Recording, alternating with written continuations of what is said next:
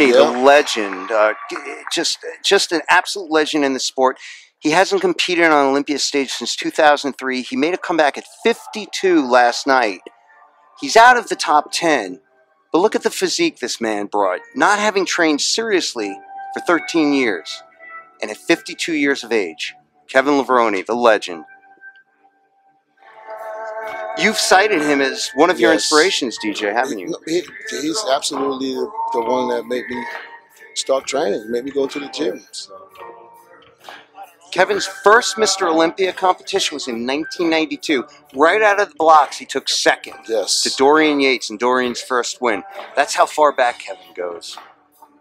Kevin said he wanted to do this for himself. He felt like when he left the Olympia stage in 2003, he had unfinished business. He didn't feel he went out the way that he wanted to. I think he's going to receive an, a tremendous yeah, I mean, here. this is absolutely uh, he's being respected for the legend the right way to to, uh, to leave the Olympia stage. Absolutely.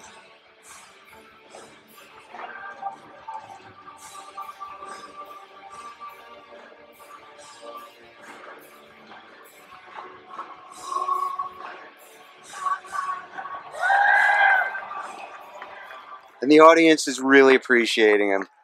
Again, we've said it a few times. Kevin is